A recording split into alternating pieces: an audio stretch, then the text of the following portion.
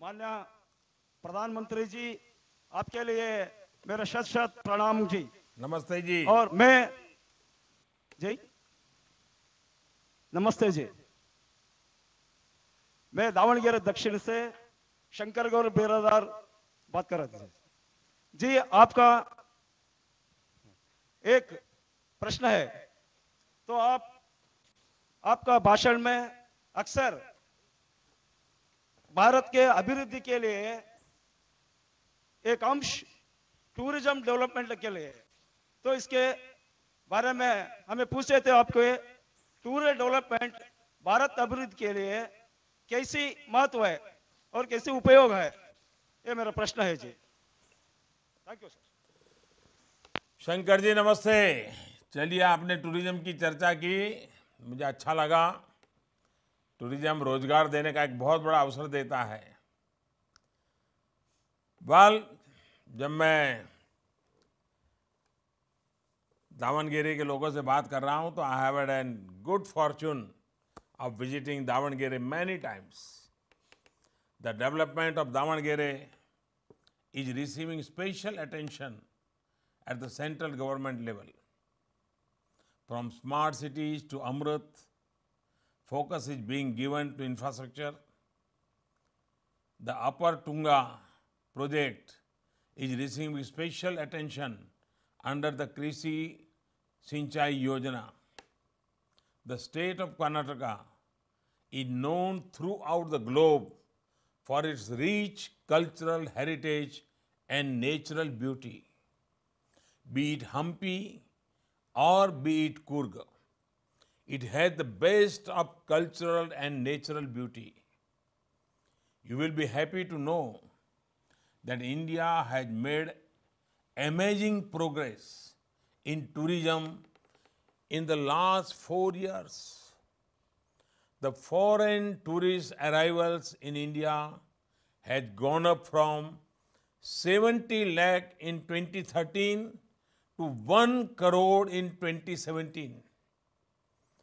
This is an increase of almost 45%.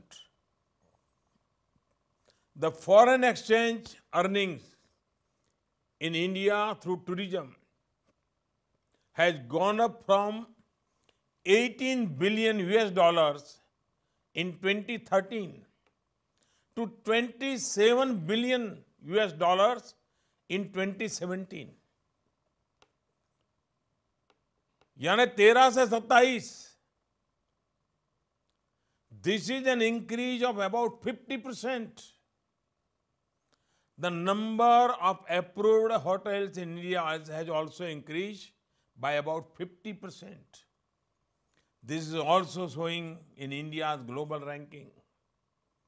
In the World Economic Forum's Global Travel and Tourism Ranking, India has moved up from 65th rank to 40th rank.